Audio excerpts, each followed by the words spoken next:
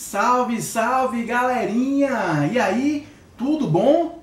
Tudo legal com vocês?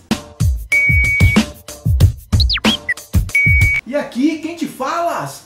Bruno Hobbs, galera! Youtuber na atividade! Bem, galera esperta! E nesse vídeo de hoje eu trago uma informação muito importante para quem usa o controle do DJI Mini 2 e um smartphone Android, galera. Ficou interessado? Então fica comigo até o final desse vídeo. Galerinha, tô aqui para passar um recado muito legal, tá? Meu amigo Kleber, é galera, inscrito aqui do canal, ele tá com o Mavic Mini 1, pessoal, e está querendo vender, tá?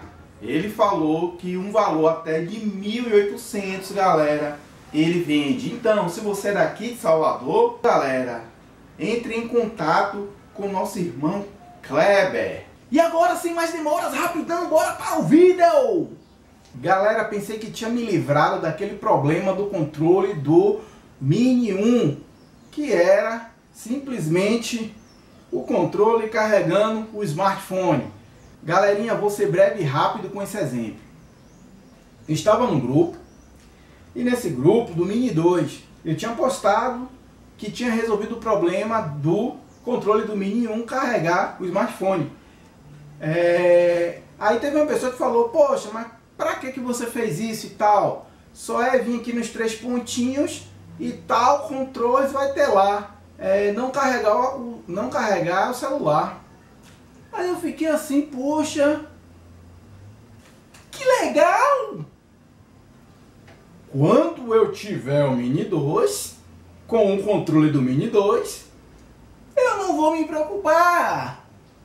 Galera, isso até eu pegar o drone e simplesmente ir fazer um teste.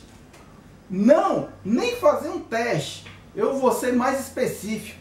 Simplesmente peguei aqui, ó, eu abri o controle, né? Abri essa partezinha aqui do controle é, tá vendo, galera, como é que, onde é que fica o cabo? O cabo aqui, ele já fica, aqui é o do rádio aqui é que vai pro celular, ó. Eles ficam intocados, tá vendo? Aí se você chegar aqui, ó, puxa, aqui já é a ponta do cabo, tá? Então peguei a, peguei a ponta do cabo, galera. Coloquei o smartphone aqui, tal, beleza. Desligado. E eu tava arrumando aqui, né, para começar a gravar. O celular tava em 75% aproximadamente. Quando eu pego o controle que eu vou começar a gravar, que eu olho, meu amigo, o celular já estava em 88%. Eu falei, mentira. Com o controle desligado? Não, não acredito.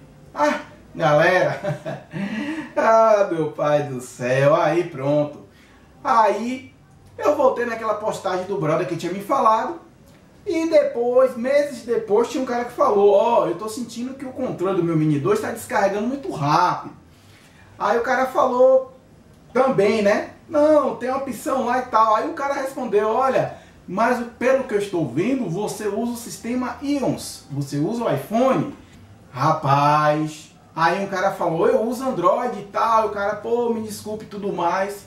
Resumindo, procurei, é, não vi nenhuma solução Galera, a mesma coisa, o mesmo pesadelo continua com o Mini 2. Mas solucionei logo.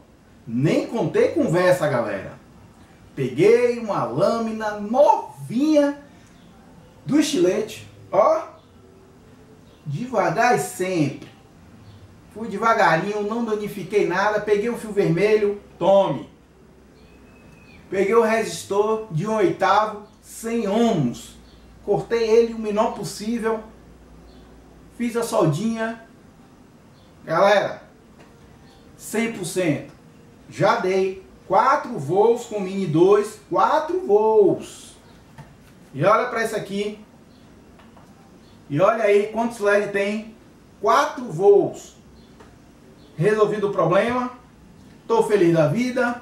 Dessa vez peguei o cabo original mesmo, porque a probabilidade de eu vender e pegar uma outra pessoa com smartphone é, Android é alta, então já vai o cabo pronto, tá? E tem a segunda opção, que se você quiser, bota um cabo OTG, puxa pro, pro controle, né? E coloca um resistor no meio, tá? Mas, como eu já tinha feito isso e convivi com o Mini 1 assim, eu resolvi fazer no original e ficar tranquilo, sem agonia, galera.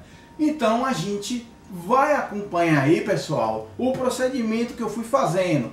É uma coisa que exige simplesmente calma, não precisa ter pressa, tá? E ter uma noção básica de soldagem, galera, de componente, tá? Então, Vamos acompanhar, galera. Salve, galerinha. Estamos aqui com 95% de bateria, tá? 1 em 1 da tarde. Aí eu vou fazer o teste. Vocês podem ver aqui, ó, que o controle tá com duas bolinhas, só que uma já tá piscando, tá? E aí eu vou deixar para vocês verem que está com o cabo original, galera. E infelizmente com esse cabo original, pelo menos no meu smartphone, ele deixa o controle carregar é, o, o smartphone. Então, galera, acabei de desligar o controle agora e vamos aqui conferir, né? E quando eu chego aqui perto, olha lá, 100% e o símbolo do carregamento tá lá, tá vendo? Agora deixa eu ver aqui, vou puxar aqui, vou puxar o cabo do smartphone, o celular acendeu e cadê o símbolo da carga? Ó lá. Então ainda tem isso, viu, galera? Não se iluda que é só com controle ligado não, viu? Com controle desligado, ele realmente vai funcionar como um power bank. Você queira ou você não queira. Pelo menos no meu smartphone, Samsung Galaxy A7, tá? 2017. Ele está carregando, galera, tanto ligado quanto desligado. Então a solução para isso vai ser colocar um resistor de 100 ohms para poder parar com o carregamento, galera. Valeu? Salve, galera! Olha aqui quem é que tá na minha mesa, pessoal. É ele mesmo, viu? O Mini 2, galera. Tá aqui dando uns quentinhos, esquentando os motores. Estou fazendo as configurações no app, tá? Só que o que eu quero deixar aqui, galera, bem claro para vocês é o seguinte. Eu dei um voo com ele, né? Um ciclo de bateria e lá se foram duas bolinhas, galera.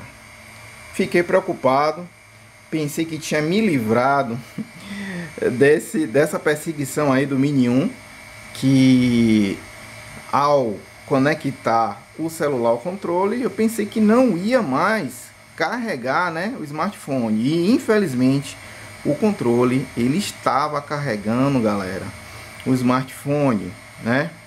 Então foi que eu resolvi fazer o mesmo teste do Mini 1. Peguei um cabo OTG, comprei um cabo tipo C. E aí, galera, foi soldado um resistor ali, ó, tá vendo? De 100 ohms nesse cabo tipo C que eu, que eu comprei, tá?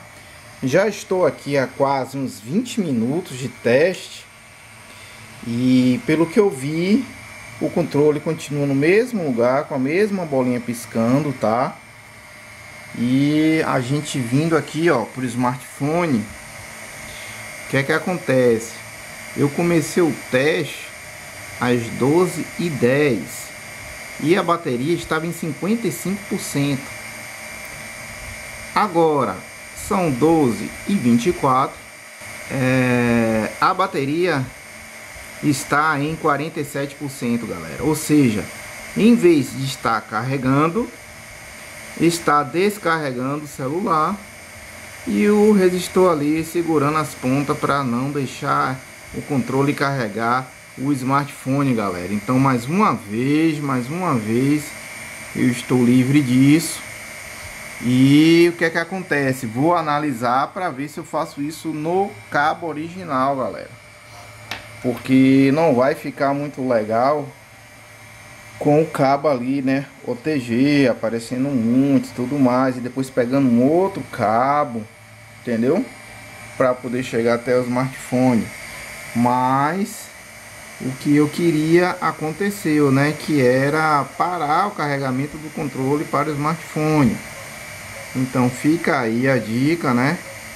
E quando tiver o cabo todo pronto, todo bonitinho, eu passo aí para vocês, né? Se alguém tiver sofrendo com essa mesma coisa, que inclusive eu já vi nos grupos o pessoal retratando sobre isso aí, eu acredito que é o mesmo sintoma aí do Mini 1, ou seja, a depender do seu smartphone não adianta. Quando plugar, ele vai querer carregar, galera.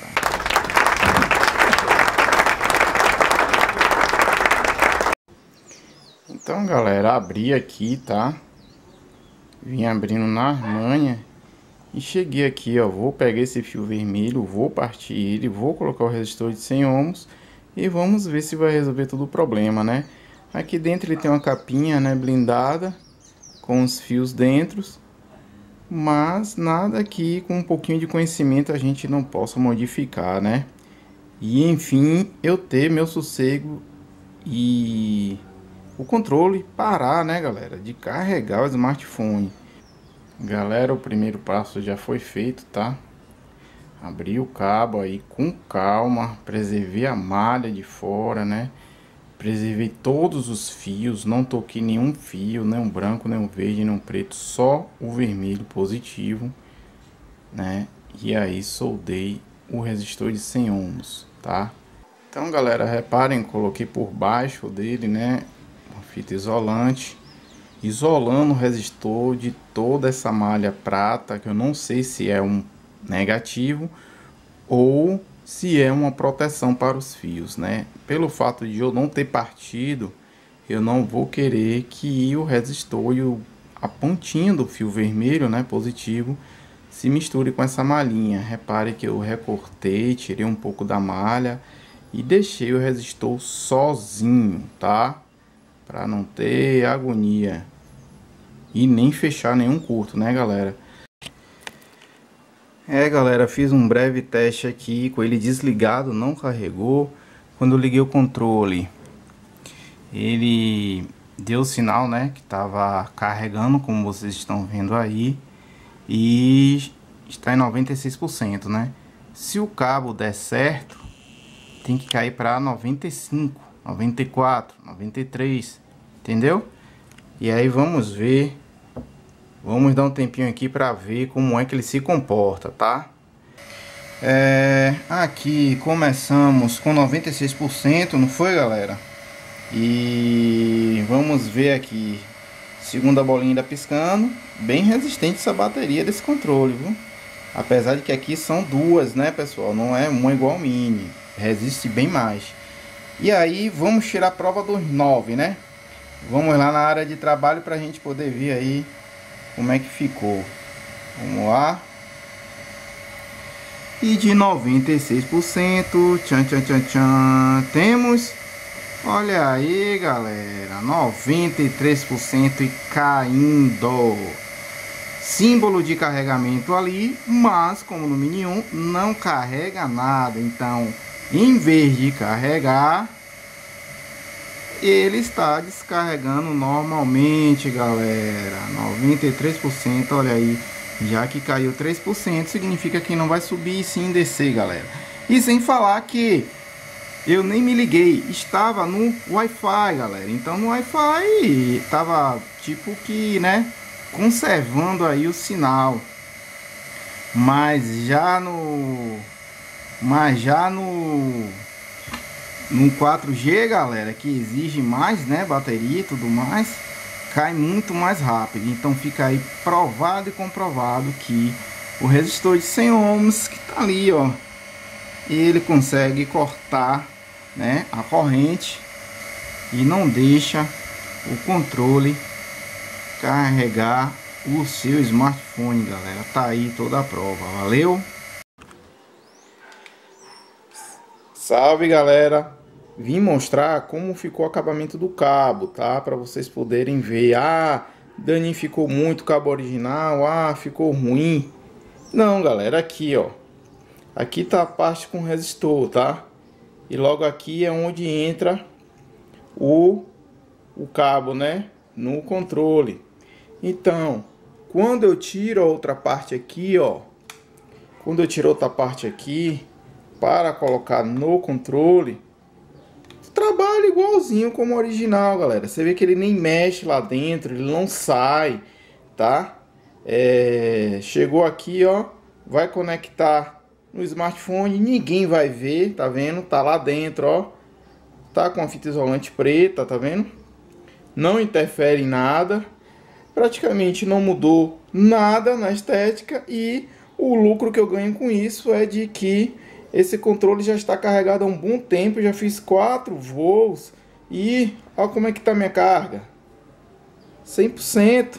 Olha para isso. Então é só lucro, galera. Mas mesmo assim vou tirar ele aqui, ó. Vou tirar ele aqui, galera. Ó, tirei, tá? E aqui, ó, pra galera ver, ó. Essa parte aqui vai é, do controle, né? E essa parte aqui é de descanso. Quando você acaba, você botou outra ponta aqui e fecha, ó, tranquilo. E aí, galera, ó. Aqui tá o cabo, normal. E aí eu já calculei de fazer isso aqui nessa mediação para quê? Porque eu sei que ele fica encaixado ali no controle e essa parte aqui, ó, ela não move. Só vai mover do meio para cá, ó, que é quando eu for colocar no controle. Na hora de retornar, só é vir aqui com o cabo e ó, pouco, pronto. Então repare que não danificou, não desconfigurou. No cabo só foi colocado um resistor para parar de carregar, galera. Valeu? Então, tô aqui para mostrar, né? É, muita gente pode pensar, pô, mas como é que ficou? Ficou legal? Ficou, né? Você vê aí que tá normal. O cabo tá normal, tá tranquilo, entendeu? Se não quiser fazer com original, compra um similar, corta lá, bota o resistor e só alegria. Não vai mais carregar seu smartphone, tá? Aqui, galerinha, tá o controle já no smartphone. Vocês podem ver como é que fica aqui, ó, a parte de trás, tá? Ele sempre fica aqui dentro, a parte que foi feito o trabalho, ó, não dá pra ver. E você vai usar normalmente, galera. Normalmente, normalmente. Valeu? Então, galera, perceba que é um procedimento que exige paciência. Como vocês estão acompanhando aí, repare como eu tive todo aquele cuidado para poder descascar os fios e todo aquele cuidado para isolar o fio vermelho dos outros e nem ao menos, nem ao menos eu cortei a malha aqui reveste né, todos os fios. Eu pensei que era uma proteção, algo assim, mas mesmo assim não cortei. Procurei separar logo a malha, todos os fios e o meu objetivo era só o fio vermelho. Eu espero ter ajudado de coração, tá? É... Fiquem com Deus, galera. E até o próximo vídeo, galera.